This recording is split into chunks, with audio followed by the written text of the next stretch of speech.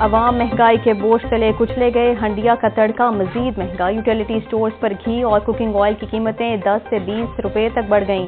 दर्जा अव्वल का घी और कुकिंग ऑयल 20 रुपए महँगा, दर्जा अव्वल का घी 680 रुपए और खुर्दनी तेल 720 रुपए लीटर तक पहुँच गया। दर्जा दोम का घी और कुकिंग ऑयल दर्जा दोम का घी और कुकिंग ऑयल 10 रुपए महँगा, दर्जा दोम का घी पाँच सौ नब्बे रुपए और कुकिंग ऑयल छह सौ रुपए लीटर तक फरोख्त होने लगा।